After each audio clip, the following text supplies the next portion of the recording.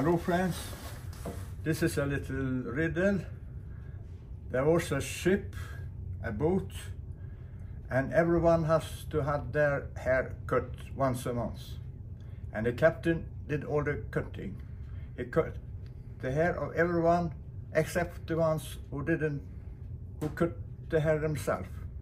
The ones who cut them herself, he didn't cut them. But then the question was, who cut the hair of the captain? So, something to think about. Thank you. Hello friends, this is Yrvind. And now the port side is up. And uh, it's been cut. And uh, ready to be laminated. Well, was one commenter, he said,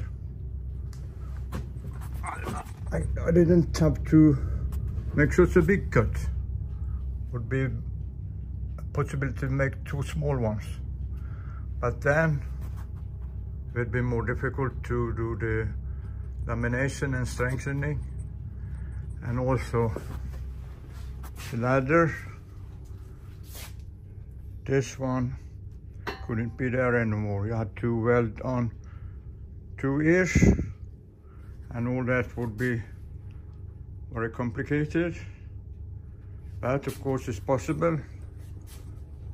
Most often there's more than one way of doing it. Like most things, there's more, one, more than one way of doing it. Even, uh, yeah not only boats, but women and, you know, eating and walking and learning and more than one thing to do things.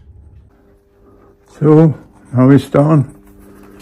And it was even more easy work than before because now I moved the chains away so I didn't have to fight with them. So, well, thank you.